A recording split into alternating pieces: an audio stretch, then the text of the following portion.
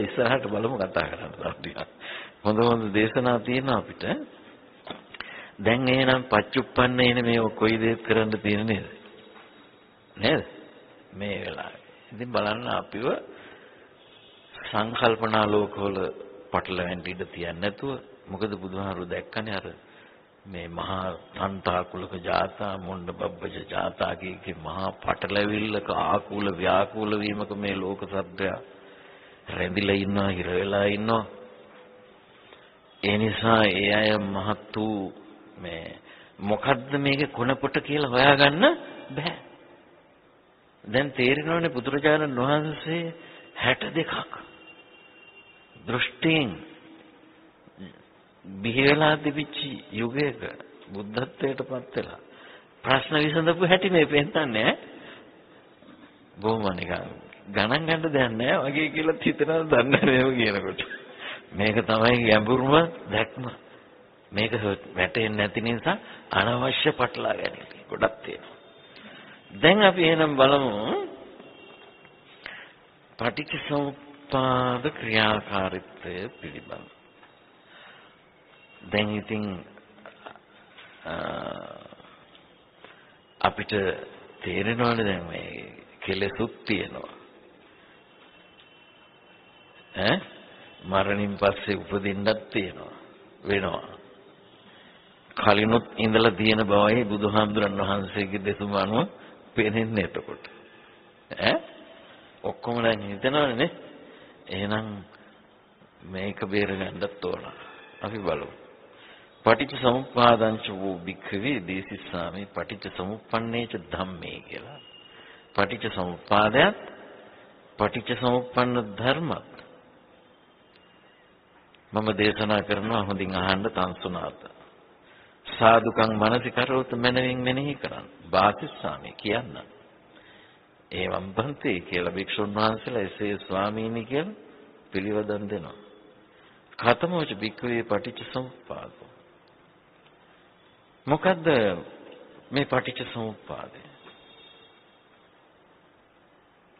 ජාතිපච්චා භික්කවේ ජරා මරණං උප්පාදාවා තථාගතානං අනුප්පාදාවා තථාගතානං තිතාව සාධාතු ධම්මට්ඨිතත ධම්ම නියාමතයි දප්පච්චේත තං තථාගතෝ අபிසම්පුච්චති අபிසමේති අபிසම්පුජ්ජිත්වා අபிසමෙත්වා. ආචික්ඛති දේසේති පඤ්ඤපේති පට්ඨපේති විවරති විභජති උත්තානි කරෝති පසති චා පසතාති චා. දැන් ඔන්න අපිට පැහැදිලි වෙනවා දැන් බුදුහාඳුරු කෙනෙක් සියලු බුදුරයන් වහන්සේලා මේ සත්වයාගේ සංසාර ප්‍රවර්තනය පිළිබඳ හේතුඵල න්‍යාය අධ්‍යයනය කරා විමසුවේ ගවේෂණය කළේ ප්‍රකට දුකේ ඉඳලා. ප්‍රකට දුර තමයි ජරා මරණ ප්‍රකට දුක තමයි ජරා මරණ දුක. ජරා මරණ දුකේ ඉඳන් තමයි විමර්ශනය යන්නේ. කිම්හි නොකෝසති ජරා මරණ හොති කියලා. එතකොට ජාතියා සති ජරා මරණ හොති කියලා. මේ ජරා මරණ කියන එක ජරා මරණ අපිට දැන් තේරෙනවනේ. තවත් නොතේරෙන හරියකුත් ඕකේ තියෙනවා. මොහොතක් මොහොතක් පාසාම ස්කන්ධයන්ගේ ભેදයක් ජරාව තමයි. මානසිකනේ ස්කන්ධ රූප වේදනා සංඥා සංකාර විඥාන කිව්වහම එක සලායතනික අද්දකීම් අනුව ලබන රූප උපාදානයක්. ඒ පිළිබඳ විඳින් උපාදානයක්. හැඳිනින් උපාදානයක්. චේතනා නැත්නම් සංස්කාර උපාදානයක්. මෙය අල්ලලා දෙන විඥාන උපාදානයක් කියන උපාදානස්කන්ධ පහන. එතකොට මේ සලායතනත් එක්කනේ පංච උපාදානස්කන්ධයන්ගේ සමුදය සිද්ධ වෙන්නේ නේ. එතකොට කන්දානම් පාතු භාවෝ කියනකොට ජාති කන්දානම් වේදෝ කියනකොට මරණ. ඔන්න ඕක තේරුම් ගත්තා අපි ප්‍රත්‍යুৎপন্ন මේ පැවැත්ම මේ මේ මොහොත තුල අපිට ඒක සිදුවීම අපිට යම් ප්‍රමාණයකින් වටහා ගන්න පුළුවන් පළමු. හරි. දැන් කොහොමටත් මේ ජාතිපච්චා ජරා මරණ. ජරා මරණය වෙන්නේ ජාති ප්‍රත්‍යෙන්මයි. ජාති කියේ මොකද? කන්දානම් භාතු භාව ආයතනන පටිලාභ. තව ඉතින් ඔක තියෙන ಜಾති සංජාති ඔක්කාන්ති අබිනිබ්බති ඈ ටිකක් තියෙනවා. ඒ ඔක්කොමත් ආයති. දැන් අපි අර ත්‍රිතායතන සූත්‍රයේ කතා කරන්නේ චන්නම් විකවේ ධාතුණං උපාදාය ගබ්බස්සා වක්කන්ති හෝති කියන තැනින් තමයි බුදුහාඳුරු පිවිසුනේ මේ සාකච්ඡාවට. ඔක්කන්ති ආසති නාම රූපං කියලා කියනවා. මේ සත්වයක් මව් ගැබක ප්‍රතිසන්දිය ලැබෙන අවස්ථාව වෙයි. ධාතු හයක් උපාදාන වීමෙන් මේක වෙනවයි කියලා. චන්නම් බිකේ මොකද ආකාශ. එතකොට උපාදානය දැන් ඕකෙදී එහෙනම් මේ ඔය උපාදානය තමයි දිගින් දිගට සිදු වෙන්නේ. ආය ඕක ගැන ප්‍රත්‍යুৎපන්නේ තේරුම් ගත්තාම ඇති මේක කොච්චර කල්ප කොච්චරක් එහා පැතිද ඕක පටන් ගත්තේ කියන විසඳීමක් අපිට උවමනා නැහැ මේ දැන් මේ ප්‍රශ්නේ විසඳන්න. ඒ නිසායි බුදුහාඳුරු ප්‍රත්‍යুৎපන්නේට යොමු වෙන්නේ කියන්නේ. උපාදාව තථාගතාන උපද බුදුරයන් වහන්සේලා උපන් කල්හිදුත් අනුපාදාන උපන් කල්හිදුත් තිතාව සාධාතු ධම්මට්ටිති තමයි ධර්මට්ටිතිතාව මේ ධර්ම නියාමතාව මේ ඉදපච්චේතාව ඈ? පවතින සහස් වෙනවා. මොකද්ද? ජාතිය සති ජරා මරණ හෝති කියන්නේ. අනිත් ඒවත් එහෙමම තමයි ඈ? මේක බුදු කෙනෙක්මයි මතු කරලා ලෝට දෙන්නේ. බෝසත් අවදී මේක දකින්නේ. ඒ කියන්නේ බුදු වෙන භවයේ අපි බුද්ධත්වයට සූදානම් වෙන මේ ඒ උතුමෙක් මේ පිළිබඳ ගවේෂණය ආරම්භ කරන්නේ කිම්මි නොකෝ සති ජරා මරණ හෝති කියන ප්‍රශ්නය ඉදිරියට ගැනීමෙන්. ඒ යොදා ගන්න ක්‍රමවේදයට කිව්වේ මොකන්ද? යෝනිසෝ මනසිකාර කියලා. යෝන එතකොට යෝනිසෝ මනසිකාර අහුපඤ්ඤාය අභිසමය. යෝනිසෝ මනසිකාරයෙන් මේ ගැන විමසනකොට මෙන්න මෙහෙම ප්‍රඥාභිසමයක් වුණා. ජාතිය සති ජරා මරණ හොති. ජාතිපච්චා ජරා මරණ කියලා. එතකොට මේ මේක මේ මේ මේ තතතාව තමයි එතකොට තතතා අවිතතතා අනඤ්‍යතතතා කියලා කියපු තැන තියෙනවා මේ මේ සම්බන්ධතාව. ඒක එහෙමමයි වෙන විදිහක් වෙන්නේ නැහැ කියලා. එතකොට බුදුරජාණන් වහන්සේ ඒ ටික කියන්නේ අවධාරණය. ඈ එතකොට මේ මේ ධර්ම ත්‍රිතතාව ධම්ම නියාමතාව තථාගතයන් වහන්සේ අபிසමය අවබෝධ කරගන්න. අபிසම්බුද්ධති. අபிසමයේ අபிසමය කරන. අபிසම්බුද්ධිත්ව අபிසමෙත්ව මේ දෙයට වටහාගෙන අවබෝධ කරගෙන ආචික්කති ලෝකයට කියනවා. දේශේති දේශනා කරන පඤ්ඤපේති පනවනවා. පට්ටපේති පිහිටවනවා. විවෘති විවෘත කරනවා. විභජති බෙදා පෙන්නනවා. උත්තානිය කරෝති උඩුකුරු කටනවා. කොහමද? පස්සතාචි පස්සතාතිචා මෙන්න බලන්න ඈ බලව් කියලා ඕම් පෙන්න. ඒ බුදු බුද්ධ කෘත්‍යය බලව් කියලා අපිට පේනවා. එතකොට මේ ක්‍රමයෙන් තමයි භව පච්චා ජාති. උපාදාන පච්චා භව. තණ්හා පච්චා උපාදාන. වේදනා පච්චා තණ්හා. පස්ස පච්චා වේදනා. සලආයතන පච්චා පස්සෝ. නාම රූප පත්‍ය සලආයතන විඥාන පත්‍ය නාම රූප සංඛාර පත්‍ය විඥාන අවිජ්ජා පත්‍ය සංඛාර ඔය ටික හොයාගෙන යන්නේ මේ සියලු බුදුවරයන් වහන්සේලාගේ ගමන කිමිනුකෝසති ජාති හොති මේ ස්කන්ධයන්ගේ සකස් වීම ආයතන ප්‍රතිලාභයේ කුමක් ඇති කල්ලිද වන්නේ භවයේ කෝසති ජාති හොති. ඒ විදිහට භවය ඇති කල්ලි ජාති කිමිනු කෝසති භව හොති. භවයවන් භවය වන්නේ දැන් ওই භව කියන ඒවා හැම තේරුම් ගන්න තියෙනවා. මොකද දැන් භව කියනකොට භවය කියනකොට ඉතින් උපතක් කියන අදහසක් නිකන් තියෙනවනේ අපි ඒ. නමුත් දැන් මේ භව කියන එකයි විභව කියන එකයි අපිට සාකච්ඡා කරන්න පසුබිමක් ඉදිරියට හදා ගන්න ඕන මේකේ මේ සාකච්ඡාව ඔස්සේ. දැන් ඒක ආගන්තුක වශයෙන් පටලවන්නේ නැහැ. නමුත් ඒක මේ තේරුම් ගන්නකොට මේ මේවා කාරණා තේරුම් ගන්න යනකොට ඒ දැනට කතා කරන්න පහසු වෙනවා.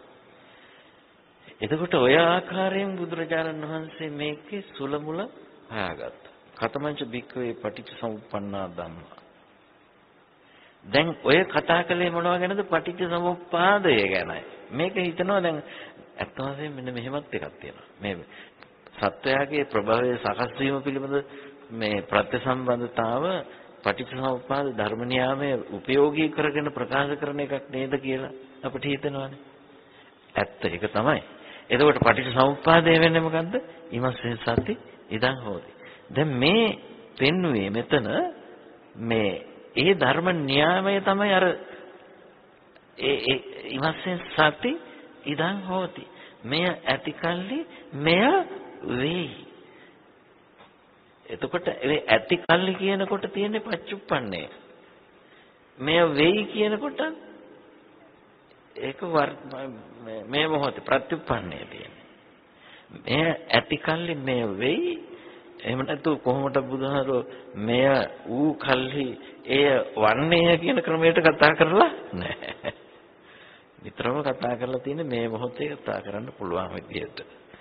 නමුත් දැන් බොහෝ විට ඔය ලෝක චින්තාවයන් තියෙන්නේ එහෙමනේ මේ ඌ විට මෙසේ වන්නේ නේ එහෙමනේ මේ මොහොත මග ඇරිලා. එතකොට මේ ඒ ක්‍රමයට නෙමෙයි බුදුහාඳුර කතා කරන්නේ. බුදු කෙනෙක් ලෝ කතා කරන්නේ පච්චුප්පන්නය තුල තේරුම් අරගන්න පුළුවන් ප්‍රමාණයට. එතකොට පටිච්ච සමුප්පාද ධර්ම තමයි අර කතමංච බික්කවේ පටිච්ච සමුප්පන්නා ධම්මා. අන්න අනිච්ඡං සංකතං පටිච්ච සමුප්පන්නං කය ධම්ම වය ගන්නම් විරාග ධම්ම නිරෝධ ධම්ම ජාති බික අර ජරා මරණ ජාති. ඒව තමයි ජරා මරණ ජාති නේද? ඊළඟට මේ භව උපාදාන තණ්හා නේද? ඊළඟට වේදනා ඊළඟට පස්ස සලආයතන නාම රූප විඥාන ඊළඟට සංඛාර අවිචා ඔය මොනවද අං පටිච්ච සමුප්පන්න ධම්මා. ඒ ධර්මයන්ගේ සබඳතාව තමයි ඈ පටිච්ච සමුප්පාදෝ කියලා කියන්නේ මේ මේ ඇතිකල්ලි මේ වෙයි කියන න්‍යායයටයි අර මුල් ඡේදෙම අයිති වෙන්නේ. ඒකෙන් සමුදය වෙන ප්‍රත්‍යයන් කතාවක තමයි පටිච්ච සමුප්පන්නාච ධම්මා කියලා කියන්නේ. ඒක තේරුම් අරගන්නකොට අපි දැනගන්න ඕන මේ අර තතතාවනේ කියලා දුන්නේ. මේකේ පටිච්චසමුප්පට්ඨ මේ මුල ඡේදය අරගෙන බලන්න ජාතිපච්චා භික්කවේ ජරා මරණං උපාදාවා තථාගතානං අනුපාදාවා තථාගතානං තිතාව. සාධාතු ධම්ම ඨිතිතා ධම්ම නියාමතා කියලා කිව්වනේ. අන්න ඒක තමයි පෙන්වන්න මේ මේක යොදාගත්ත අර ප්‍රත්‍ය නම් කරගත්තේ න්‍යාමයේ පෙන්වන්නයි. ප්‍රත්‍ය පෙන්වන්න නෙමෙයි පළවෙනි ඡේදයේ දෙදුවේ දෙවෙනි ඡේදයේ තියෙන්නේ අර ප්‍රත්‍ය ටික වෙන් කරලා පෙන්වනවා ඊට පස්සේ. නියාමයේ තමයි ඉමස්සින් සති ඉදං හෝති ඉමස් උප්පාදා ඉදං උප්පජ්ජති. එතකොට මේ පටිච්චසමුප්පන්න ධර්මතාවය. ඊළඟට යන අපි අවසාන ඡේදයේ තියෙන යතෝචකෝ බික්කේ අරිය ශාවකස්ස යංච පටිච්චසමුප්පාදෝ ඉමේච පටිච්චසමුප්පන්නා ධම්ම යථා භූතං පජානාති. දැන් ඕකේ දැනගන්න මට්ටමක් තියෙනවා. යථා භූතං සම්මප්පඤ්ඤාය සුදිඨා හොಂತಿ. දැන් අපි මේ කතා කරපු ටිකේ සම්බන්ධතාවය එච්චරම අපි තාම ඉවර කරලා නැහැ. නම් කිරීමක් හා සමානයි. මොකද ඒක තව ටිකක් ඉස්සරහට තමයි කතා කරන්න වෙන්නේ. හැබැයි ඔය කතා කරපු ප්‍රත්‍ය සම්බන්ධතාව දැන් අපි කිව්වා මේ ජාතිය කියන එක ජරා මරණයට කරුණ වෙනවා. වෙන එකක් ජරා මරණයට කරුණ වෙන්නේ ජාතියමයි. අනේ විදිහෙන් තමයි ඉමස්සෙන් සති එදා හෝති කියන මේ ධර්ම න්‍යාය දකි. එතකොට ජාති ජරා මරණ ආදී ප්‍රත්‍ය ඒ පටිච්ච සමුප්පන්න ධම්මා. පැහැදිලි නේද? ඒක අමාරු නෑනේ. එතකොට යම්කිසි ආර්ය ශ්‍රාවකෙක් කියලා කියන්න පුළුවන් කෙනෙක්. අයංච පටිච්ච සමුප්පාදෝ ඉමේ පටිච්ච සමුප්පන්නා ධම්ම මෙන්න පටිච්ච සමුප්පාදය මේන්න මේවා තමයි පටිච්ච සමුප්පන්න ධම්ම කියලා ඇති සැටියෙන් ඒ කියන්නේ සමුදය වූ අයුරින් මනානුවණින් දකලා තියෙනවනම් සුදිත්තා හොಂತಿ සෝවත පුබ්බන්තං වා පරිදාවිස දැන් ඕන් අපි බලන්න යන කාරණාවක් මේක. මොකද අපිට අතීත සංසාරිකුත් තිබුණනේ. නේද? මතු සංසාරිකුත් වෙනවනේ. ඔය හින්දානේ ඉතින් මේ දහම හොයන්න වෙන්නේ. නැත්තම් ඕනේ නෑනේ. දැන් ඊළඟ ප්‍රශ්නේ තමයි අතීත සංසාරේ ප්‍රඥාව නැතුව හොයන්න ගියාම මොකෝ වුනේ අපිට? අතීත සංසාරය ගැන ප්‍රඥාවෙන් තොරව හිතන්න ගියාම වෙන්නේ මොකක්ද? ආත්මවාදී දෘෂ්ටියකට වැටෙනවා. නේද? සක්කාය දිට්ඨිය මුල් බහිනවා හොඳටම. දැන් ඒකයි දැන් අපි තේරුම් ගන්න තියෙන දෙයක් මෙතන. එතකොට ඇතිසැටියෙන් දැක්කනම් එයා අතීතේ ගැන හිතන්නේ නැහැලු සෝවත පුබ්බන්තං වා පරිදාවිස්සති ඒතනත්තා పూర్වාන්තයට දුවන්නේද? අහෝසින්නකෝ අහං අතීත මද්දානං මත මම අතීතේහි වේමිද? නනුකෝ අහෝසින් අහං අතීත මද්දානං මම අතීතේ නොවීමිද? වීමිද? නොවීමිද? කිං නුකෝ අහෝසින් අහං අතීත මද්දානං මං අතීතේ කවරෙක් වීද? කතන්නකෝ අහෝසින් අතීත මද්දානං කෙසේ වීද? කිං හොත්වා කිං අහෝසින් කවරෙක් වී කවරෙක් වීද? දැන් අපිට හිතෙනවා නේද කොහොමද? හැබැයි මං ගියාත් මේ බය කොහොමද ඉන්න බෑ දන්නේ නැහැ එහෙම හිතනවනේ. දැන් සද්ධර්මයේ නොදැන එහෙම හිතන්න ගියාම අපි නේද? දැන් බුදුහාමුදුරන් වහන්සේ ලෝ පහළ වෙනකොට සමාපatti අභිඥා ශක්තියෙන් ලබලා මේවා හොයන්න පුළුවන් අය හිටියා. ඒවා විමසන කතා කරන අය හිටියා. ඒ නිසා මොකද ඒ අය හැබැයි ළඟ අඩුවක් තිබුණා. ඒ අඩුව පුරවන එක තමයි බුදුහාඳුර කළේ. ඒ අයට විදර්ශනා ප්‍රඥාව තිබුණේ නැහැ. ඒ නිසා ඒ අය අතීතය ගැන හිතන්න ගිහිල්ලා මොකද තමන් හිටපු බව තමන් දකිනවා. ඒකම්පි ජාතිය, ද්වේපි ජාතිය, තීන සම්පි ජාතිය නේද? තීනිපි ජාතිය මොකද ඔය විදිහට ගිහිල්ලා 30 40 50 60 ඊට පස්සේ සමහරව අනේකෙහි සංවට්ට කප්පේ අනේකෙහි විවට්ට කප්පේ පුබ්බේ නිවාසං අනුසරති කියලා තියෙනවා. නානා කියන්නේ හිතන්න බැරි තරම් කල්ප ගණන් පෙරවිසූ ආත්ම භවයන් සිහිපත් කරන එකනට මොකද්ද වෙන්නේ? තීරණය මොකද්ද? ෂා මම මෙච්චර කල් ඉඳලා තියෙනවානේ. මං ස්ථිරයි. ලේසි නෑ එයාට පටිච්චසමුප්පාදේ උගන්වන්නේ. අපිට ඕක නැති එකමයි ලේසි දැන්. පටිච්චසමුප්පාදේ තේරුම් ගන්න හරි අමාරු. ඒ ඇයි සීකරා? ඒ තමයි මේ විදිහට උඟ දෙන කියන්නේ අපි නෙමෙයි. දැන් නූතන වුණක් තියෙනවා දැන් මෝහන ප්‍රතිගමන ක්‍රමයේ. ගිහිල්ලා හොයනවා නේද? එක්කෙනා තමන්ගේ ඔය ලෙඩ අසනීප වලට සුළුමුළු හොයන්න ගියන් පස්සේ මේ සමහර වෙලාවට ඔය බටහිර ලෝකේ වෛද්‍යවරු මනෝ වෛද්‍යවරු මේ මෝහන ප්‍රතිගමන ක්‍රමය අත්දැක බලනකොට මේ මේ මේ 21 වෙනි සියවසේ 20 වෙනි සියවසේ අත්දැකීම් නෙමෙයි 16 වෙනි සියවසේවත් හදිසියෙ කියන්න පටන් ගත්තාම අරයා කැළඹීමටපත් වෙනවා මේ මොකද්ද මේ මෙයා මේ කියන්නේ කියලා. කොයි කාලේවද මේක? 16 වෙනි සියවසේවා. ඈ ඊළඟට මේ තව මොනවද මේ ඇට්ලාන්ටික් සාගරයේ ගොඩබිමක්ව තිබිච්ච කාලේ සිද්ධි සමහරේ. ඊට පස්සේ එයා කිතු සමය පිළිගත්ත වෛද්‍යවරයෙක්. බයිබලේ මොනවද මේ තියෙන්නේ මේක කියන්නේ මොනවද? ඔක්කොම පරිේශණය කරන අර එහා පැත්තට දාලා සද්ද නැතුව ඉන්නවා. හැබැයි ඔළුවේ වැඩ කරනවා. ඊට පස්සේ කාලයක් යනකොට මේක විමසලා විමසලා බය ඇරෙනවම ලියන පොතක්.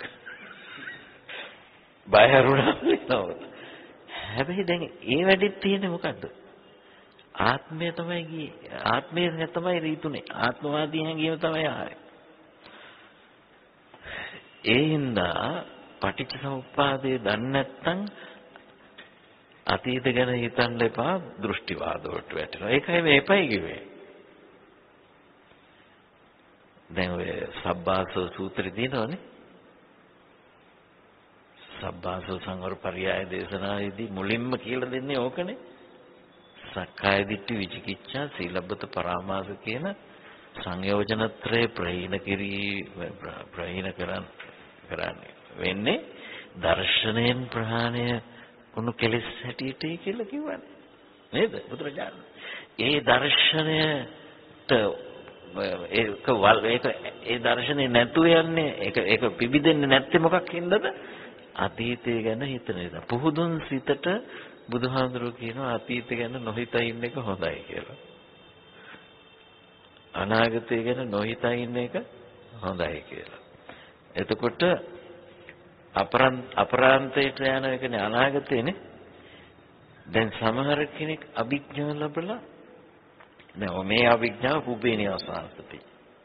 සමහර කෙනෙක් චතුූපපාද ඥානය ලැබලා පරසත් අනික් සත්වයින්ගේ මේ මේ අබසහ ඊළඟ උපත උපත සකස් වෙන හැටි දකින්න නුවණ. දිවසින් දකින්න. ඒක දිබ්බ චක්කු ඥානෙට. චතුූපපාද ඥානෙ දිබ්බ චක්කුවටයි ගෝචරය. ඉතින් දැක්කම මේ යන්නේ අරයමනේ ඔය ඔය ඉන්නේ. ඉතින් දැන් හරි වැඩිනේ අපේ බුදුහාරුත් අහවලා දැන් මිය ගිහිල්ලා එයා දැන් ඉන්නේ තුසිත භවනේ කියලා බුදුහාරුව කියනවා. මේ මොකද්ද බුදුහාඳුරෝ කරන්නේ එතකොට කියලාත් අපිට හිතෙනවනේ. නැද්ද? දැන් මේක පැටලුම් හරගන්න ඕන. මම දන්නේ මේ හදිසියෙම පැමිණුණු තැන හරිද කියලා හොඳද කියලා. කරන්න දෙයක් නැහැ ආව එක කතා කරමු ඈ. මේක ගලන ගඟක් මිසක් මේ මේ මේ කොන්ක්‍රීට් වගේ ඇල මාර්ගය වගේ මට කලින් හදන්න බෑ. කොන්ක්‍රීට් ඇල මාර්ගය තියෙනවනේ. ඒකට වැටුණාම බේරෙන්න තමයි කොන්ක්‍රීට් ඇල මාර්ග වලට මේ බුදුහාමෝ එකේ මොකක් හරි මුලක් අහගෙන බෑ. ඔය අලියෙම වැටිලා ලංකාවේ මේ මහවැලි යෝජනා ක්‍රමේ අක්‍රමවත් සංවර්ධන සැලසුම් නිසා සත්තු තමයි වැටෙනවා. මොකද මේ විදිහට ඇල මාර්ග හදලා කොහොම බේරෙන්නද මේ නේ? ඉස්සනවා කොට එන්න බෑ. ඒ වගේම තමයි මේ දාර්ශනික ලෝකෙත් ආගමික ලෝකෙත් කොහේ ලිස්සලයි දන්නේ බුදුහාඳුරෝ හැම ලිස්සලිය යෑමකින්ම බේරලා අපිට විවෘතකමක් දීලා තියෙනවා. ඒක හඳුනගත්තාම තියෙන්නේ පුදුම සහනයක්. ඈ? අපි බලමු යතෝචකෝ බික්කේ අරිසාවකෝ දැන් ඊළඟට අපරන්තං. භවිස්සාමිනුකෝහං අනාගත මද්දාන. මං අනාගතේ උපදින්නෙම්ද වන්නෙම්ද? උපදින්නෙම නෙවෙයි වන්නෙම්ද කියමුකෝ. නනුකෝ භවිස්සාමි. නොවන්නෙම්ද? ඈ? ඊට පස්සේ කින්නකෝ භවිස්සාමි. කවරෙක් වන්නෙම්ද? කතන්නකෝ භවිස්සාමි. කෙසේ වන්නේද කිං හොත්වා කිං භවිස්සාමිකෝ. කවරෙක් වී කවරෙක් වන්නේද හිතන්න එපයි කිව්වා. මොකද මම දැක්ක පොතක මේ ලියලා සඳහන් කරලා තියෙනවා මේ බුදුහාඳුරෝ මේක හිතන්නත් එපයි කිව්වා. එහෙම කියලා රහතන් වහන්සේලා ඒව ගැන හොයලා කියනවා. මොකද්ද මේ වෙටි? පැහැදිලි නෑනේ. ඔන්න දැන් පැටලුච්ච තරගේ. මේ නිසා දැන් හරියට දැන් ඒ පොතෙන් අමාරු වැටෙන්න ඕනේ කෙනෙක් ඒක කියලා තිබුණා කියලා. මෙයාට උමනා කාරණේ පේන්නලා නැහැ. ඒකයි දැන් මේ පටලවිල්ල ඉන්නේ. අපිවත් පටලවන්න. ඒවට නම් අපි අහුවේ කියලා ඒ පිටු පෙරලනවා අනිත් පැත්තට. පුද්ගලයානේ මේවල වෙන්නේ ඈ. ඊළඟට තමයි මේ මොහොතේ ඒතරීවා පච්චුප්පන්නං අද්ධානං අජ්ජත්තං කතං කති මේ වෙලාව ගැන කොහොමද අනුකෝෂමි මං ඉන්නවද ඈ? නනුකෝෂමි මං නැද්ද? ඈ? නනුකෝෂමි මොකද්ද මේ කින්නකෝෂමි කවරෙක් වෙමිද? කතන්නකෝෂමි කෙසේ වෙමිද? අයන්නකෝ සත්තා කුතෝ ආගතෝ මේ සත්‍යය කොහෙන්ද ආවේ කොහෙන් ගාමි? බලිස් එහෙම හිතනවා. දැන් මේ හිතන්නේ මොන මානසිකාරයද ඔය? අයෝනිසෝ මානසිකාරය වල දැන්. අය නියම අයෝනිසෝ මොකද හේතුව කිසිම දෙයක සුලමුලක් පෙනෙන්නේ නැතුව සංකල්ප ලෝකේ විතරක් කරක් ගන්න අයෝනිසෝ එකක් වෙලා තියෙනවා. දැන් මේ විදිහට ආර්ය ශාවකස් ආර්ය ශාවකස්ස අයංච පටිච්ච සමුප්පාදෝ ඉමේ පටිච්ච සමුප්පාද පන්නා ධම්මා යථා භූතම් සම්මප්පඤ්ඤාය සුදිත්තා හොಂತಿ. දැන් ඒක කියගෙන යන්න ගිහිල්ලා මේ ටික කිව්වේ. මේ ටික තේරුම් කළේ මුලින් නම් ආය යන්න. කියන්නේ තුන්වෙනි අවසාන ඡේදේ. යම් හේකින් මාන්නේ ආර්ය ශ්‍රාවකයාට මේ පටිච්ච සමුප්පාදය පටිච්ච සමුප්පන්න ධම් පටිච්ච සමුප්පාදය යනු මෙයයි. පටිච්ච සමුප්පන්න ධම්ම යනු මෙයයි කියන එක හොඳට පැහැදිලි නම් ඒ පුද්ගලයා పూర్වාන්තෙට දුවයිද අර කියපු විදිහට? අතීතෙට. අනාගතයට දුවයිද අර කියපු විදිහට? දැන් මේ මොහොත ගැන හිතයිද මේක කියපු විදිහට? නෑ. එහෙනම් මොකටද රහතන් වහන්සේලා අතීත සිහිපත් කරේ? ප්‍රශ්නයක් නැද්ද? ඈ? ප්‍රශ්නයක් තියනද ඒක තියනද නේ මෙනෙහි කරලා බුදුහාමුදුරුවෝ එහෙම කියන්නේ දැන් මේ උන්වහන්සේලා මේ සිහිපත් කිරීම හැම කෙනාටම ඒක සිහිපත් කරන්න හැකියාව තියෙන්න ඕන කියලා හේකුත් නැහැනේ.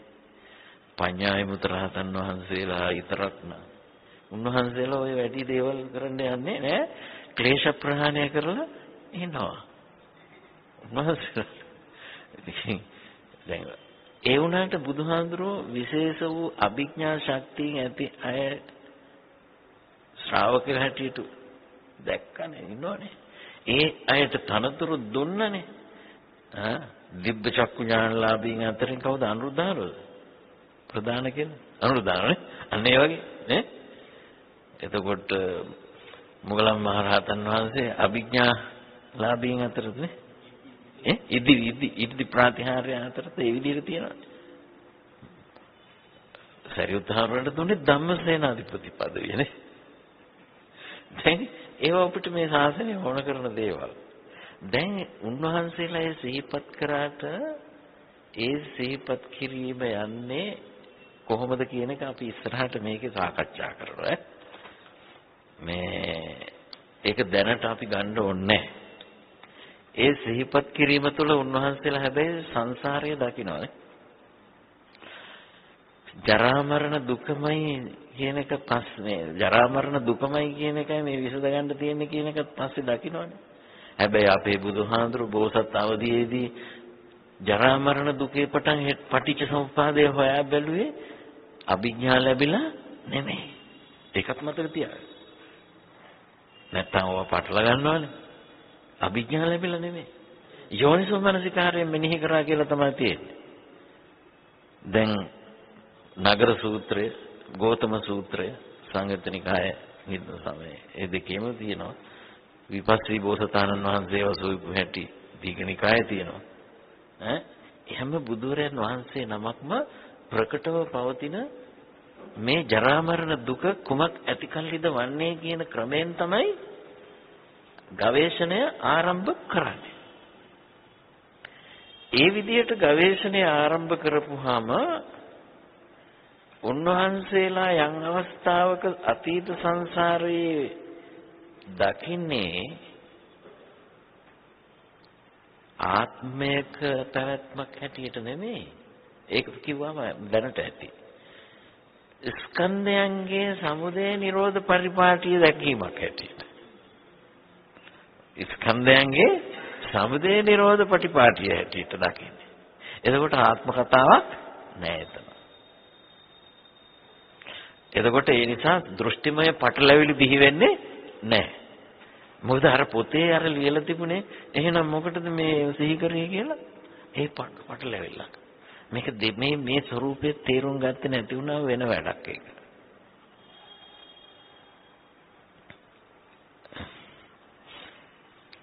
එතකොට අපට පැහැදිලි පූර්වාන්තයට යන්නෙත් නැති අපරාන්තයට යන්නෙත් නැති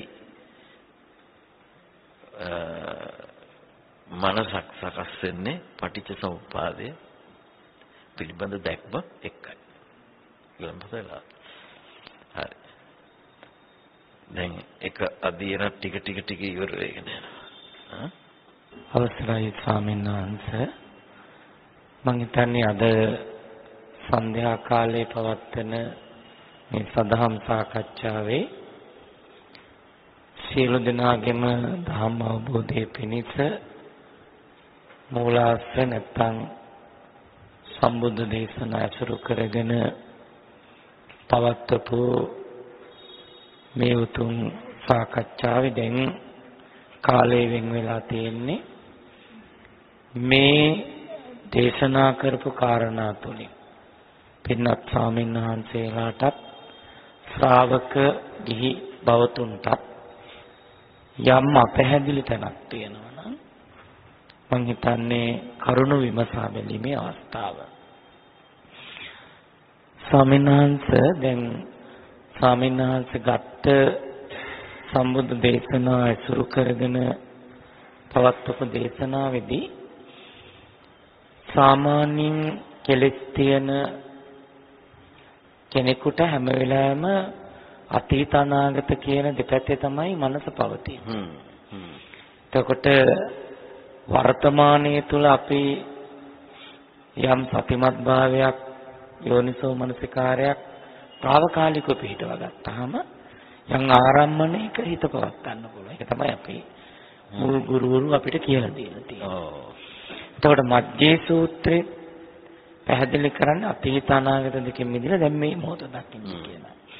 මම හිතනවා ඒක අර ප්‍රඥප්ති සංස්කාරක ලෝකයේ තුල අපි මවාගත්ත විඥානයේ තුල මැවෙන නාම රූපවල ස්වභාවය අපිට අත්දකින්න බැරි නිසාද අපි අතීත අරමුණු මම වෙමි කියන තැන ඉඳලා ඉන්නවා තියෙනවා කියන තැනත් අතීත අනාගත දෙක සම්බන්ධ කරලා වර්තමාන හේතුඵල අතහැරින්නේ.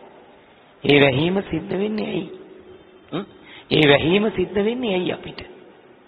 ආ මේ අතීතයට අනාගතයටයි දෝලණය වෙනවා ප්‍රත්‍යুৎපන්නය අපිට වැහි. දැන් මේක වෙන්නේ. ඇයි වෙන්නේ? ඒක අපි කතා කරන්න උවමනා කරන දෙයක් තමයි. ඕක නොඑක ආකාරයෙන් සිදු වෙනවා කියන එක අපිට පේනවා.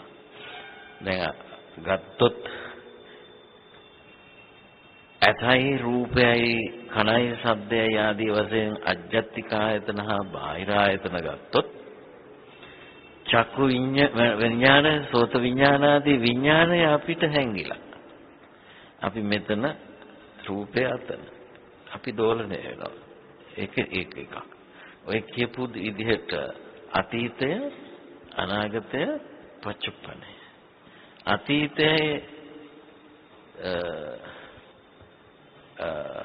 පිළිබඳ සිතිවිලි වැඩ කරනවා ආය අනාගතයට. යනවා මේක එන්නේ නැත්තේ ඇයි කියන එකයි.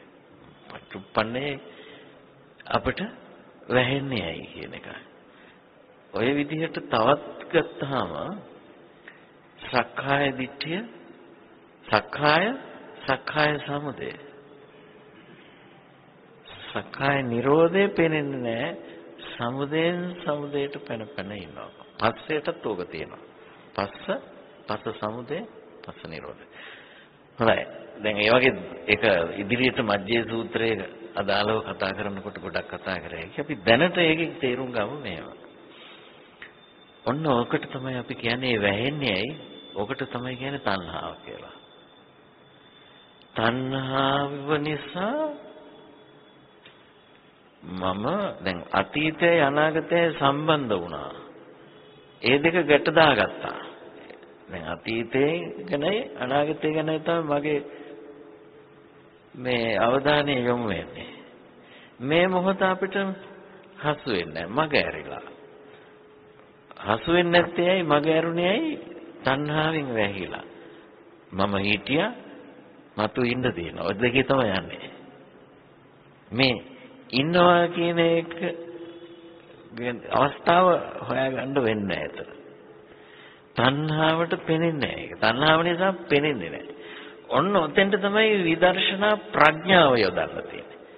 දැන් අර උදෙත් මම හිතන්නේ ගාථාව අපි අරගත්තා. යෝ බන්තේ විදිත්වාන යම් කෙනෙක් මේ දෙකල දෙකලවර දැනගෙන මේ අන්තයත් අනික් අන්තයත් උභයාන්තය දැනගෙන අපි කියමු පූර්වාන්තය හා අපරාන්තය කියලා මේකේ ආපු එක එකනේ.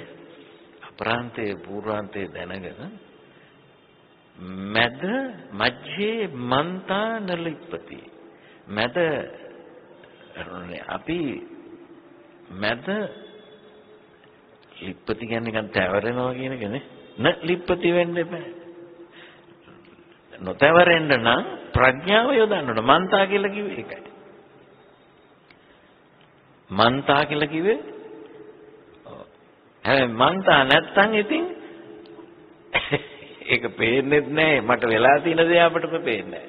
Tamanට ඌ දේ Tamanටම පේන්නේ නැහැ නේද එතකොට? ඈ මජ්ජේ මන්තාන ලිප්පති. තං භූමි මහා පුරිසෝත ඒක හරියට දන්නවනම් ඕක මහා පුරුෂයයි කියලා කියනවා කියලා කිව්වා බුදුහාම. සෝද සිබ්බනි මච්චක ඔකට දාලා තියෙනවා නමක් සිබ්බනි කියලා. ඔය තණ්හාවට. මහුංකාරයයි මහුංකාරය මහුම් මහුම කියන්නේ දෙපොටක් එකට අල්ලලා මහන එකනේ. නේද? දෙපොටක් එකට අල්ලලා මහන එකනේ මැහුම කියලා කියන්නේ. ඒ දෙපොට තමයි මොකද්ද? අතීතයයි අනාගතයයි කියලා ගමු මෙතන අපේ සාකච්ඡාව ආපු විදිහට. එතකොට පච්චුප්පන්නය මූට්ටු වෙලා පේන්නේ.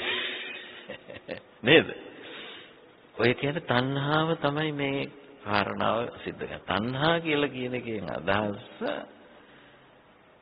විනිවිද නොදකින ඇලීමක්නේ. දැන් ඔය තණ්හා කියන වචනේ පාවිච්චි කරනකොට තියෙනව නේද මේ පෝනෝ භවිකා නන්දි රාග සහගතා తත්‍ර తත්‍රාභිනන්දිනී කියලා.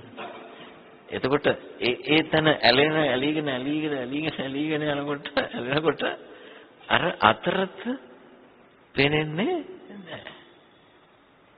ඒක වැහෙනවා. නොපෙනී යනවා. අපි අර පැවැත්මක් කියලා එකක් හදාගෙන තියෙන එකනේ. පවතිනවා කියන ඔන්න ඔකට තමයි භව කියලා කිව්වේ. භව කියන වචනේ පාවිච්චි වෙන්නේ මොකේද? පවතිනවා කියන අදහසට. මේ පටිච්ච සමුප්පාදයට අදාළවනේ දැන් කතා කරන්න යන්නේ. මේ භව කියන වචනය කතා කරන්නේ අපි ඒක ගම්මු. මේ මේකත් එක්ක ටිකක්. මේ අපි එන මේක මේ මේ මේ විදිහේ උපක්‍රමයක් කළේ දැන් මේක මම මේක ෆයිල් වල ඇති. ලෝක වෝලෝකන සූත්‍රයයි දැන් මේකට උත්තරේ අපි හොයාගන්න බෑනේ දිට්ඨිගත සූත්‍රය අපි දැන් අධ්‍යයනය කරලා ඉන්න ඕන නේද හොඳම මූලාශ්‍ර දෙකක්. මේ මම හිතන්නේ සමහර අයට ඔය ඔය මුල් එකේ නෙමෙයි තියෙන්නේ එක. මේ මම නිකන් ඔය මේ සූත්‍ර ටිකක් එක්කව කරපු එකක් ඇති. අන්න එතන. මේ මම නම් මේක මුලින් තියාගත්තා ඕකේ කොහොමද කියලා දන්නේ නැහැ. ඔය ෆයිල් එකේ මේක. දැන් මම මේක පාවිච්චි කරන්නේ මට ඕක පාවිච්චි කරනකොට මම පටල වෙනවා. මොකද ඒක නෙමෙයි මගේ දැන් උරු වෙලා තියෙන්නේ මේකට. මම හදාගත්තේ. හම්බුණාද? ලෝක බෝලෝකන සූත්‍රය කියලා සූත්‍රයක් තියෙනවා. ඕක මේ කුද්දක නිකායේ උදාන පාළියේ තියෙන්නේ.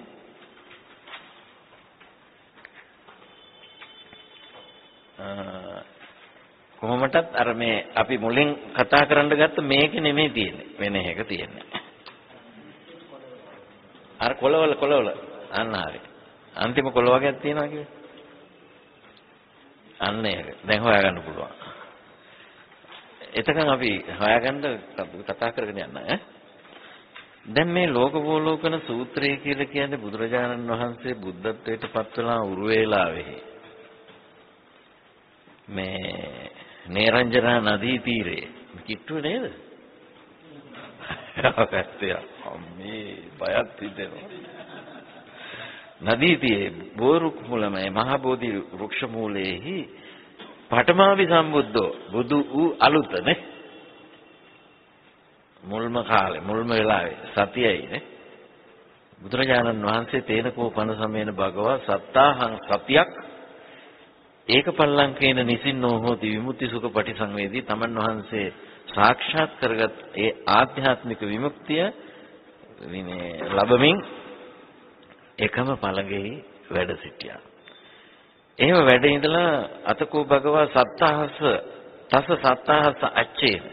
එහිදී ඒ භාග්‍යතුන් වහන්සේ ඒ සතිය ඇවෑමෙන් තම්මා සමාධිම්මා උත්තරීත්ව අර සමාධියෙන් නැගිටලා බුද්ධ චක්කුණා ලෝකං ඕ ලෝකෙන්තු බුදු ඇසින් ලෝකය බලනුයේ අද්දසා භූ භූ අද්දසා භූ භගවා බුද්ධ චක්කුණා ලෝකං ඕ ලෝකෙන්තෝ සත්‍යේ අනේකේහි සන්තාපේහි සන්තප්පමානේ විසා අනේමේන සත්‍යෝ දැක්කා.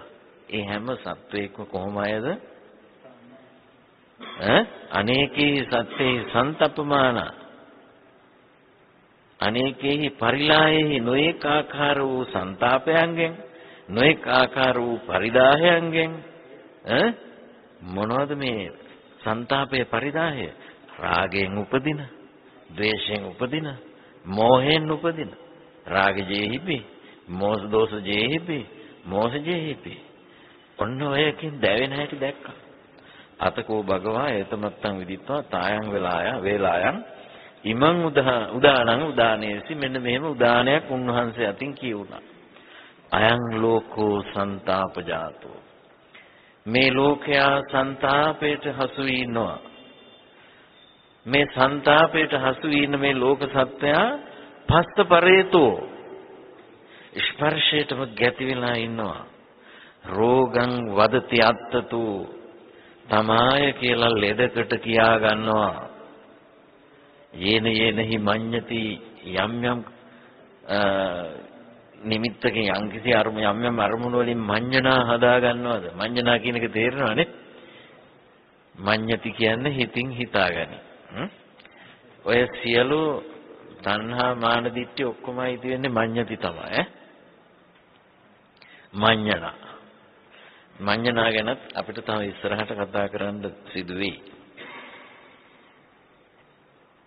මොකද්ද අපි ලබන මේ යේන යේනෙහි මඤ්ඤති කියන එකෙන් අදහස් කරන්නේ අපි මේ ඇහැ කන නැහැ දිවකය මන කියන ඉන්ද්‍රියයන්ගෙන් අත්දැකීම් ලැබමින් යම් කිසි හිතවි හිතක් හිතා ඇති කර ගන්නවානේ යම් සිතවිල්ලක් අපිට ඒව ගැන අපි හොවා ගන්නවා. ඇලීම් වශයෙන් හෝ ගැටීම් වශයෙන් හෝ රැවටීම් වශයෙන් හෝ. ඒක ඒ මවා ගන්නා මඤ්ඤණා తত্ত্বය තමයි අඤ්ඤතා භාවී තතෝතං හෝති අඤ්ඤතා. එය එයින් අන් අයුරකට යනවා කියලා කියනවා. දැන් එතකොට අනිත්‍යතාව දකින්න තියෙන්නේ කොහෙද? සලායතනිකව අපි අත්දැකීම් මඤ්ඤණා වෙලා තියෙනවා නම් ඒ මඤ්ඤණාවන්ගේ අන්‍යතාව දැකීම තමයි අනිත්‍ය දැකීම. මූලික වශයෙන් වැදගත් වශයෙන්. ඒ කියන්නේ සලායතනික අත්දැකීම් ඔස්සේ අපි යම් යම් මඤ්ඤණාවන් තණ්හාමාන දිට්ඨි ලෝභ දෝෂ මෝහ ආදී හදා ගන්නවා නම් ඒ සිත්වල තමයි අනිත්‍යතාව දැකිය යුත්තේ. මොකද අනිත්‍ය වෙන්නේ එයයි. පවත්ත ගන්න ඕනේ යමක්ද එය අඤ්‍යතාව වෙනවා. හේතුව ඒකයි. යේන යේනහි මඤ්ඤති තතෝ තං හෝති අඤ්‍යතා. යමකින් යමකින් අපි මම අන්න හරි අන්න හොඳයි. ආංශෝක් කියලා හිතන් අල්ලගත්තා ඒක ඒ සැනින් අඤ්‍යතා වෙනවනම් ඉතින් මේ පැවැත්මනේ බලාපොරොත්තු වෙන්නේ පවත් ගන්න බෑ. අඤ්‍යතා භාවී භවසත්තෝ ලෝකෝ භවපරේතෝ භවමේවා විනන්දති.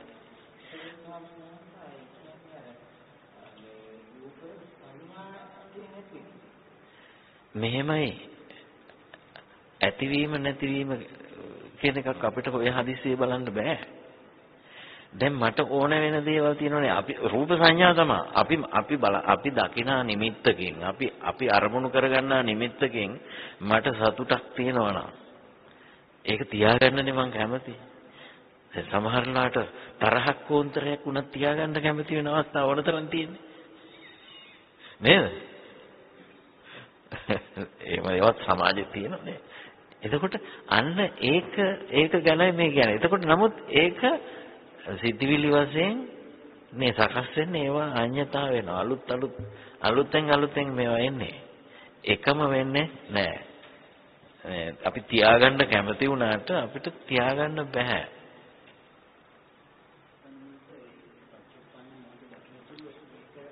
ඔව් ඕක වෙන්නේ පච්චුප්පන්නයි. දැන් මේ මොහොතේ තමයි මම අත්දැකීම් ලබන්නේ.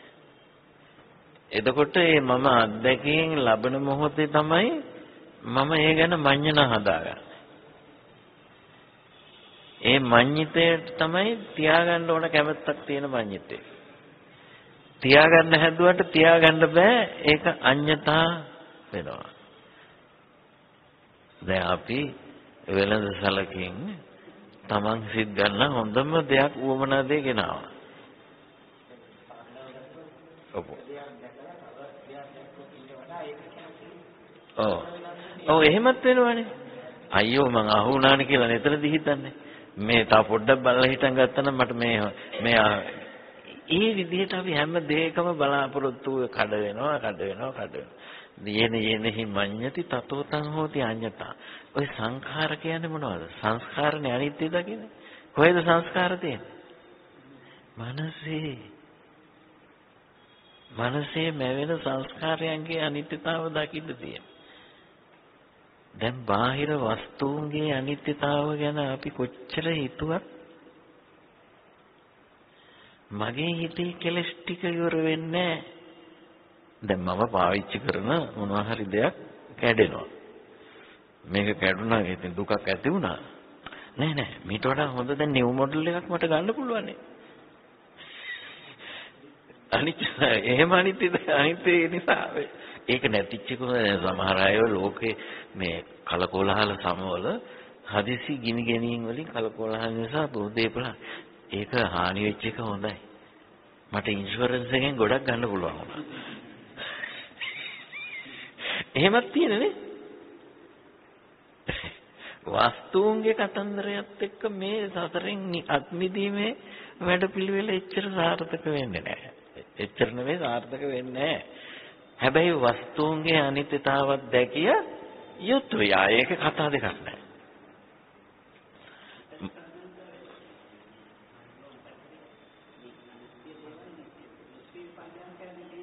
ඔව් ඔව් ඔව්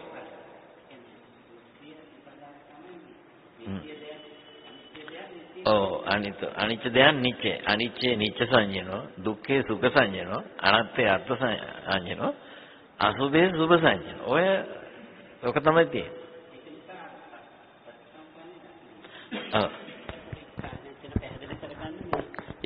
මේ කලින් සාකච්ඡාවේදී පැහැදිලි කරේ පැහැදිලි වුණා මන්දින් මට පැහැදිලි වුණා මන්දි මන් දන්නේ අනිත් අයගේ අත්දැකීම් මොකද්ද කියලා.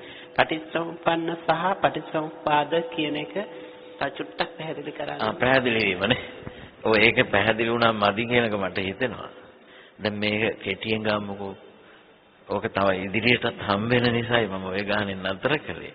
පටිච්ච සමුප්පාදය කියලා කියන්නේ පටිච්ච සමුප්පන්න ධම්ම කියලා කියන්නේ පොඩි වෙනසයි තියෙන්නේ. පටිච්ච සමුප්පාදය තමයි මේ ධර්ම න්‍යාය. ඉමස්නේ සති ඉදන් හොති මේ ඇති කල්හි මෙය වේ. දැන් අපි ඒක නිදසුනකින්ම ගමුකෝ. දැන්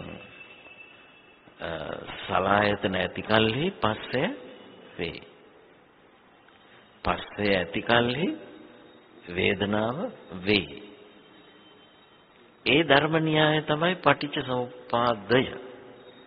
ඒ ධර්ම න්‍යාය පැහැදිලි කිරීම පිණිස ඒ ධර්මයේ න්‍යාය බුදුහාමුදුරු යොදාගත්ත සත්‍යයගේ සංසාරික සකස් වීම පැහැදිලි කිරීමට. එසේ යොදා සත්‍යයගේ සංසාරික සකස් වීම පැහැදිලි කිරීමේදී සත්‍යය පිළිබඳ පටිච්ච සමුප්පන්න ධම්ම තමයි මතු කරලා ගත්තේ. තමයි අවිජ්ජා සංකාර විඥාන නාම රූප සලආයතන පස්ස වේදනා තණ්හා උපාදාන භව ජාති ජරා මරණ. දැන් හරිනේ. පටිච්ච සමුප්පන්න ධම්ම එක. පටිච්ච සමුප්පාද ධර්ම න්‍යාය වෙන එක.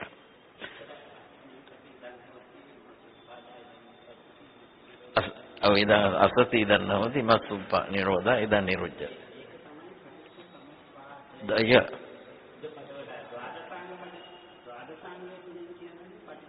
පන්න ධම්ම.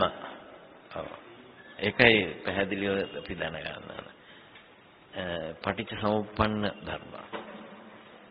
එතකොට මේ පටිච්ච සමුප්පන්න දේවල් පටිච්ච සමුප්පන්න අපේ අත්දැකීම් අපි ඒ බව නොදැක තියාගන්න කැමති වෙන එකට තමයි කියන්නේ බව. ඈ පවත්වා ගන්න තියාගන්න කැමති. පවත්වා ගන්න කැමති තියාගන්න කැමති. හැබැයි තියාගන්න කැමති වුණාට මොකෝ සිද්ධ වෙන්නේ?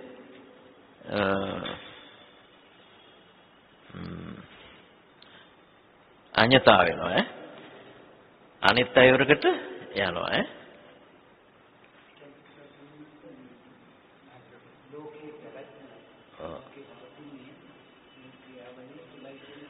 ඔව්. ඔව් ලෝකේ පවතිනවා ඒ කියන්නේ පවතිනවා කියන කොටත් ඉතින් පවතිනවා කියන වචන අපි වැඩි පාවිච්චි කරන්න ගියාමත් එන අවුලක් වෙනවා. නමුත් මේ අපිට ඉතින් අපි අපේ බස් මහරේදී අපිට එහෙම කියන්න වෙනවා. නමුත් මේ බුදුහාමුදුරුවෝ උනත් සමුදයම තමයි තියෙන්නේ. පවතිනව නෙමෙයි. සමුදයයි නිරෝධයයි තියෙන්නේ පවතීම නෙමෙයි. අර තීනිමාන වික්‍රේ සංකතස සංකත ලක්ඛණානි උපාදෝ පඤ්ඤායති වයෝ පඤ්ඤායති තිතස් සංයතත්තම් පඤ්ඤායති කියලා තියෙනවනේ එකක් නේ. මේ සංකත ධර්ම කියලා කියන්නේ අපිට අපේ සලායතනික අත්දැකීම් වශයෙන් ස්කන්ධ වශයෙන් හෝ ආයතන වශයෙන් හෝ ධාතු වශයෙන් හෝ අපි අත්දකින සියල්ල. අපේ අත්දැකීම් සියල්ල සංකත. ඒවා අපි තියාගන්න කැමති වෙනවා සමහර එතකොට මේ අපි කියමු මට අපහසුතාවක් දැන් තියෙනවා කියලා ඒ අපහසුතාව මට තියාගන්න බෑ. කැමති නෑ. මම පුංචි අපහසුතාවක් මට තියෙනවා. ඒකමයි නිදර්ශනයට ගත්තේ හින්දා ඈ? ඒ ඒ අපහසුතාව මම තියාගන්න කැමති නෑ දැන්. එතකොට ඊට පස්සේ බලාපොරොත්තු වෙන ඒ අපහසු අයින් වෙලා ඒ පහසු තත්ත්වයේ දිගින් දිගට තියාගන්න කැමති. නේද? මේ කැමැත්ත ඉටු වෙන්නේ නැහැ අරක ආයෙත් ඒ අපහසුතාව එනවා. දැන් මේ අපි හිතන එකක්වත් අපිට දැන් අපි කියමු මෙහෙම මේ ලෝකේ අපි දැන් නම් මගේ හිතට හොඳයි. මට දැන් කරදරයක් නැතුව ඉදිරියට කටයුතු කරගෙන යන්න පුළුවන්. මම දැන් හිතට ගැළපෙන විදිහම තමයි දැන් නම් ගොඩනගිලා තියෙන්නේ කියලා සෑහීමකටපත් වෙන අවස්ථා සමහර විට තියෙනවානේ. නමුත් පැය 24ක් යන්න ඉස්සෙල්ලා ඔක්කොම වෙනස් වුණවරක් ගත්තා. ඔක්කොම වෙනස් වුණවරක් ගත්තා. එහෙම වෙච්ච නේද ආ ඒක ඒක තමයි දුකට හේ- දුක කියලා කියන්නේ ඕකයි එතන. අවසරයි ස්වාමීන් වහන්සේ සමහර විට මේක මගේ වැරදි අවබෝධයක් වෙන්න පුළුවන්. මම අහලා තියෙනවා මේ පටිච්ච සමුප්පාදය කියලා කියන්නේ අර මේ ඇතිකල්හි මේ වේ කියන ඉමස්මින් සති ඉදන් හෝති කියන ධර්ම න්‍යාය. ඊළඟට පටිච්ච සමුප්පාද ධම්ම විදිහට අනිච්චයි සංකතයි පටිච්ච සමුප්පන්නයි කය ධම්මයි වය ධම්මයි විරාග ධම්මයි නිරෝධ ධම්මයි පටිච්ච සමුප්පන්න ධම්ම විදිහට අහලා තියෙනවා. එතකොට මේක මට නිවැරදි කරගන්න ඕනේ ඒක. කොයි විදිහටද කියන එක. ඒ පටිච්චසමුප්පාද ධර්මයන්ගේ ස්වභාවය තමයි ඔය කිව්වේ. කාය ධම්ම, වාය ධම්ම, විරාග ධම්ම, නිරෝධ ධම්ම මේ විදිහට. දැන් අපිට පැහැදිලිවම සූත්‍ර දේශනාවල හම්බ වෙනවා. අවිජ්ජා සංඛාර විඥාන නාම රූප සලආයතන පස්ස වේදනා තණ්හා උපාදාන භව ජාති ජරා මරණ පටිච්චසමුප්පන්න ධර්ම භව ඊළඟට අපි සමුදය දැනගන්න එපේ. අපි ප්‍රතිපදාවක් පිණිසනේ අපි කටයුතු කරන්නේ. ප්‍රතිපදාවක් පිණිස අපි කරුණු හඳුන ගන්නකොට සමුප්පන්න ධම්ම හඳුන ගන්න ඕන. එතකොට ඒ සමුප්පන්න වෙන්නේ කොහොමද දැන්? අ ස්කන්ධ ගැන කතා කළත් ආයතන ගැන කතා කළත් ඔය හැම එකක්ම පටිච්ච සමුප්පන්න ධර්ම. ඈ ඒ බව බුදුහාමුදුරන් වහන්සේ පැහැදිලි කරලා තියලා තියෙනවා. එතකොට ඒවා ඒවා කාය ධර්ම, වේය ධර්ම, නිරෝධ ධර්ම. ඒකත් ඒ ඒවල හැටියක්. ඒවයි තියෙන ගුණාත්මක ස්වභාවයක් තමයි කියලා තියෙන්නේ. ඒ නිසා පටිච්ච සමුප්පන්න ධර්ම හැමතිස්සෙම කොය ධර්මයි කියලා කියන කියනවා. ඒක හරි. එතකොටයි හරියන්නේ. පටිච්ච සමුප්පන්න ධර්ම හැම එකක්ම කය ධම්ම, වය ධම්ම, විරාග ධම්ම, නිරෝධ ධම්ම. ඒ පිළිගත්තාම හරි. පැහැදිලිද මන්ද? පැහැදිලි ඇතිනේ නේ? ඈ? ඒ කියන්නේ දැන් සමුප්පන්න ධම්මනේ අපිට ඕන නේද? පටිච්ච සමුප්පන්න ධර්ම. ඔව්. ඔව් පටිච්ච සමුප්පාදය කියලා කියන්නේ ඉමස්මින් සති ඉදං හෝති කියන ධර්ම න්‍යාය. ඒ ධර්ම න්‍යායට අනුකූලව සමුත්පන්න වෙන ධර්ම තමයි පටිච්ච සමුප්පන්න ධර්ම. එතකොට එහෙම පටිච්ච සමුප්පන්න ධම්ම කියලා දැන් මේ අපි කතා කළ සූත්‍රය දැන් මේ මෙතන මේ හරි යා පච්චේ සූත්‍රයේ අපි පැහැදිලිවම කතා කරා. කතමේච වික්‍රේ පටිච්ච සමුප්පන්නා ධම්මා කියලා. මොනවද සමුප්පන්නා ධම්ම? ජරා ධර්ම ජරා මරණම් වික්‍රේ අනිච්ඡං සංගතම් පටිච්ච සමුප්පන්නා.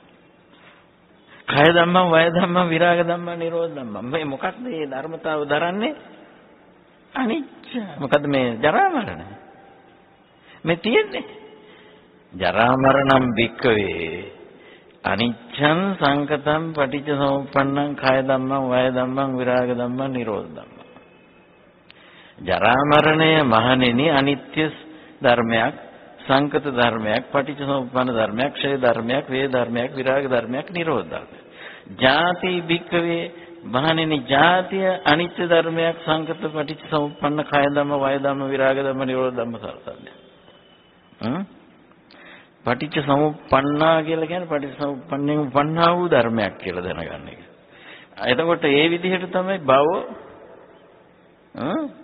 උපාදාන තණ්හා වේදනා පස්ස සලආයතන නාම රූප විඥාන තියෙනව නේද පැහැදිලි. පාලි බස්හුරුව තේරෙනවා නම් ওই ප්‍රශ්නේ එන්නේ නැහැ. පාලි බස්හුරුව නැති වුණාන් පස්සේ දැන් මේ මේ ඔක්කොම කර්ම විභක්තියෙන් දාලා දිනනවා එක එක පේන්න. ඈ? ජරා මරණං දිග්ව. ජරා මරණය මහණෙනි. අනිත්‍යයි. ජරා මරණයත් අනිත්‍යයි කියලා කියන එක තේරෙන්න තේරුම් ගැනීම ප්‍රශ්නයක් නේ. මරණය අනිත්‍ය වෙන්නේ කොහොමද? උපදින්න නැත්තම් මරණය අනිත්‍යයි නේ. ඊමසින් අසති ඉදන් නහොත් තියෙන්නේ ඒකේ ධර්ම න්‍යායන ඒක බේරලා තියෙන්නේ. ජරා මරණයත් අනිත්‍ය ධර්මයක්. පැහැදිලිද දැන්? ආ.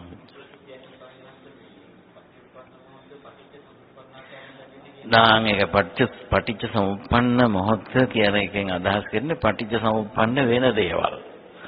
වෙන මොකෙන් අපි කාලය මනින්නද නේ? නේද? ඒකනේ. දැන් මේකෙන් කාලය මැන්නට ඉතින් අපි දැන් මේ මේ මොහොතේ මට මේක කටු පේනකොට තමයි අපි හිතා ගන්නවා දැන්. හතරමාරට කිට්ටුයි කියලා එච්චරයි. දැන් මේ කියාගෙන යන්නේ අපි කියාගෙන යන්න ගිය එකට අපි යමු. මේ ලෝක සත්‍යය ਸੰతాපයට පත් වෙලා තියෙනවා කුමක් නිසාද? තියාගන්න බලාපොරොත්තු වෙන දේ අන්‍යතා වෙන එක. අඤ්ඤතා භාවී භවසත්තෝ ලෝකෝ භවපරේතෝ භවමේවා විනන්දති. අඤ්ඤතාත්වයකට වෙනස් අයුරකට යන ලෝකයක භවසත්තෝ භවසත්තෝ කියලා කියන්නේ පැවැත්මට ඇලුන වූ අය කෙනා. භවසත්තෝ ලෝකෝ. මේ ඇලුන කෙනා මේ ලෝකේ භවපරේතෝ පැවැත්මටම ගැති වුණු එක්කෙනා. භව මේවා විනන්දති පැවැත්මම කැමති වේ. තමන් බලාපොරොත්තු වන දේවල් තියාගන්නයි කැමැත්ත. යද බිනන්දති යමක් අභිනන්දනය කරයිද? ඒ කියන්නේ තියාගන්න කැමති වේද? මතු මතුත් අපේක්ෂා කරයිද? ඈ? තං භයං. ඒක තමයි බය. මොකද තියාගන්න කැමති දේ තියාගන්න බැරි වෙයි කියලා බයයි. යස බායති තන් දුක්ඛං යමකට බය වේද? ඒ තමයි දුක. භව විපහානායකෝ පනිදම් බ්‍රහ්මචර්යයන් වසති කියලා මේ පැවැත්ම කියන සංඥාව හැඟීම ගැනීම ප්‍රහාණය කිරීම පිණිස තමයි මේ සසුන් බඹසර වාසය. බුදුහාමුදුරන් වහන්සේ මේ දේ මේ Tamanම කියනවා. ඒක කාටවත් ශ්‍රාවකයෙකු අපේක්ෂා කරගෙන කියනව නෙමෙයි. උදාන පාළියනේ තියෙන්නේ. අර ලෝකයා දැකලා උන්වහන්සේ අතින් මේක ගලා යනවා. උන්වහන්සේගේ හිතේ. ඊළඟට යෙහි භික්ඛවේ සමනාවා ප්‍රාර්ථනාවා භවේන භවස්ස විප්‍රමුක්ඛ මහංසු මහණෙනි යම් කිසි ශ්‍රමණ බ්‍රාහ්මණ කොටසක් ඉන්නවා නම් පැවැත්මම ස්ථාවර කරගන්න තැනක් හොයලා භවයෙන් මිදීම. ඒ කියන්නේ දැන් භවයේ භවයෙන් භවයෙන් මිදෙන්න ඕන. භවේනේම භවේන භවස්ස විපමොක්කමහ. පැවැත්මෙම දැන් අපි කියමු දැන් කෙනෙක් මේ මහා බ්‍රහ්මන් හා සහවිතාවටපත් වෙලා දැන් සංසාර දුක නෑ යාට. එහෙම තැනක් හෙව්වනේ බුදුහාරුන් වහන්සේ පහළ වෙන්න ඉස්සරනේ. දැන් ඔය අපේ ප්‍රකට තියෙන ආගම් වල වුණත් තියෙනවනේ. සදාකාලික ස්වර්ගීය ජීවිතයක් බලාපොරොත්තු වෙනවා.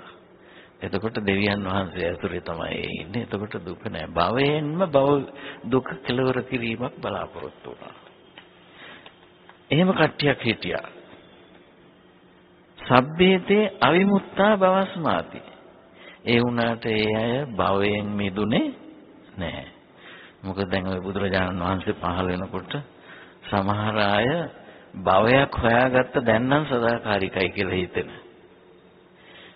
අපි කියමු නේව සංඥා නා සංඥායතන කියලා. කල්ප ගණනාවක් නෙනේ. ඒකට වැටුනම ඉතින් දිගට ඉන්නවා කියලා හිතාගෙන. සම්්‍යක් සම්බුදුරයන් වහන්සේලා ලෝ පහළ වෙලා ධම් දේශනකොට මේක දැනගන්නවලු ඒගොල්ලෝ. අනේ අපි මේ අමරණීයයි කියලා හිතාගෙන හිටියට මරණ ධර්මය අපිටත් සාධාරණයි කියලා ඒ කට්ටිය කම්පාවටපත් වෙනවා. දැන් හරිනේ මොකද ඒකත් කය ධම්මං වය ධම්මං හරි ඊළඟට මේ යේමාපන කේච බ්‍රාහ්මණ බ්‍රාහ්මණ විභවේන බවස්ස නිස්සරණ මහා. දැන් සමහර කෙනෙක් ඉන්නවා මේ පැවැත්ම කියලා එකක් වෙන්නේ නැහැ. ඒක බොරුවක්. අපි කවුරුත් ඉන්නකම් නම් ඉඳී මරුණාම ආයේ ඉවරයි කියලා හිතා ගන්න අය ඉන්නවා. එහෙම හිතන අය අදත් අපේ ලෝකේ කොයි කලක් ඉන්නවා. ඒක ඉතින් අපි ඒක ගැන පසුතැවිලි වෙන්න හැම ඕනෙත් නෑ. ඒක හැටි මේ ලෝකේ තියෙන දෘෂ්ටි වලින් එකක් ඒක. එතකොට විභවේන ඒ කියන්නේ විභව දැන් විභවය කියලා කියන්නේ නොපැවතීමෙන් භවයේ මිදීම නිස්සරණය ප්‍රකාශ කරන ශ්‍රමණ බ්‍රාහ්මණ රුත්තිටියා උච්ඡේදයක් පනවලා භවය නිරෝධය කියන අය තව විදිහකින් කියනවා නම් හැබැයි බුදුහාමුදුරන් වහන්සේ සඳහන් කරන අවිමුත්තා බවස්මාති. ඒ හැම කෙනෙක් ඒ හැම එක්කෙනෙක්ම අනිස්සට බවස්මාති වදාට. සබ්බේති ඒ හැම කෙනෙක්ම භවයෙන් මිදුණු මිදුණු අය නෙමෙයි කියලා කියනවා. දැන් එතකොට සදාකාලික ආත්මයක් දිගින් දිගට තියාගන්න ඉන්න එක්කෙනත් භවයෙන් මිදෙන්නේ සදාකාලික එකක් නෑ. ඒ හින්දා මේ තියෙන එක ඉවරුනහම ඔක්කොම ඉවරයි කියලා විභවයක් පණ පනවන එක්කෙනා භවයෙන් මිදෙන්නේ නෑ. එතකොට ඇයි එයා භවයෙන් මිදෙන්නේ නැත්තේ? මොකද භවයෙන් මිදෙන්න අවශ්‍ය කරන කෙලස් ප්‍රහීණය ඔහු තුල සිද්ධ වෙලා නැහැ. ඒ නිසා එයා මේ යන්නේ මට මේ සැප මොකක් හරි සැපයක් තියෙනවා ඒක තව තිබුණා නම් හොඳයි කියලා හිතාගෙන මරුණාම ආය හම්බ වෙනවා එච්චරයි.